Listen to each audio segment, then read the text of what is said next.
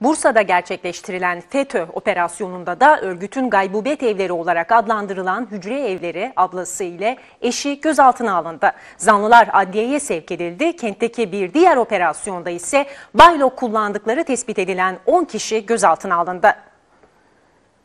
Kaçakçılık ve organize suçlarla mücadele şube müdürlüğü ekipleri karı kocanın örgüt adına para topladıkları yönünde istihbarat aldı. Kadının örgütün Bursa Gaybubet Evleri ablası olduğu tespit edildi.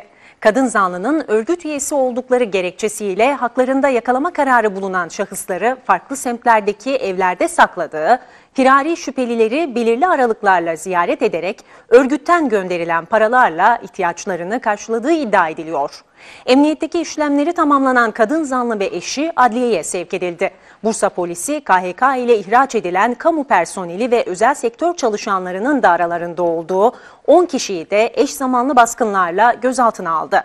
Zanlıların baylok kullandıkları 17-25 Aralık'tan sonra Bankasya'ya para yatırdıkları ve kapatılan FETÖ derneklerine üye oldukları iddia ediliyor.